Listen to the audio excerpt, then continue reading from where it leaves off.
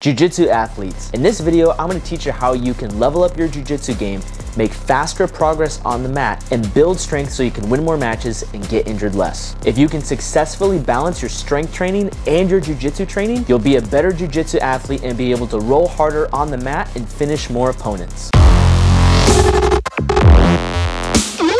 What's going on guys? My name is Josh Settlage and I am the BJJ Strength Coach. In today's video, I'm gonna be telling you how many days you realistically should be lifting for jujitsu. As a jujitsu athlete, building strength is very important because building strength is gonna not only allow you to enhance your jujitsu performance, but it's also gonna massively decrease your risk of injury. Before we get too deep into the video, I wanna let you know that I have a free gift for you. If you wanna learn more about how you can get stronger so you can ultimately win more matches and get injured less, click the link in the description below and you can download a free four week strength program. As a jujitsu athlete and a strength coach, I've come to realize that everybody in jujitsu needs to lift or at least be working on getting stronger. The fact of the matter is, is that nobody ever got injured because they were too strong and no one ever lost a match because they were too strong. Getting stronger is the number one thing you can do off the mat to improve your performance on the mat. Getting stronger will not only allow you to be more efficient, which will help you use less energy when you roll, but having strength behind all of your techniques allows you to have more effective attacks against your opponent or your sparring partner. Being a stronger athlete is also massively important for decreasing your risk of injury. The stronger your muscles, ligaments, and tendons are, the more resilient they are to the stressors of jujitsu. This means that you'll spend more time on the mat instead of off to the side with an injury. So at this point, you may be thinking, great, I understand that I need to be strong for jujitsu, but I'm already training jujitsu, so how many extra days of strength work do I need to do? When it comes to determining how many days you should lift for jujitsu, my go-to answer is lift as many days as you can,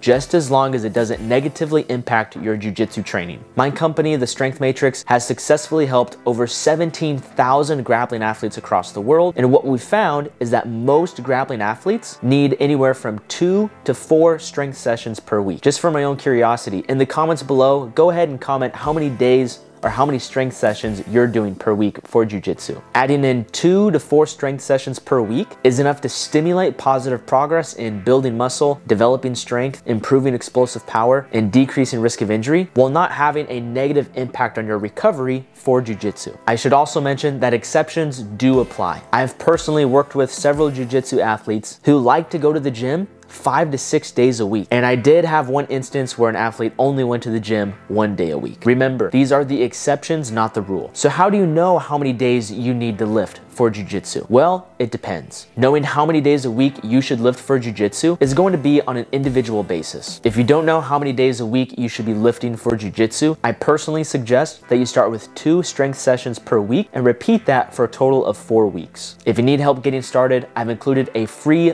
four week strength program that you can download all you need to do is just click the link in the description below. This strength program is two days a week for four weeks total. And it's gonna give you exercises that are the best bang for your buck when it comes to developing strength for jujitsu and improving your mobility. After doing two strength sessions per week for about four weeks, I suggest adding in one to two more strength sessions per week as you see fit. If you're a competitor and you do anywhere from six or more jujitsu sessions per week, you probably only need about two strength sessions per week. Anything more than that, you might start to run into some recovery issues that will have a negative impact on your jujitsu performance. On the other end, if you only train jujitsu twice a week as a hobbyist, you can probably handle adding anywhere from three to four strength sessions per week before it starts to negatively impact your jujitsu training. In closing, if you're a jujitsu athlete, you need to lift and you need to get stronger. Getting stronger is the number one thing you can do off the mat to improve your performance on the mat. Nobody ever lost a jiu-jitsu match because they were too strong and nobody ever got injured because they were too strong. To get started on building strength for jiu-jitsu, I suggest you start out with two strength sessions per week for a total of four weeks. After that, you can add one to two strength sessions in your training week as you see fit. Thank you so much for watching. My name is Josh Settlage and I am the BJJ Strength Coach.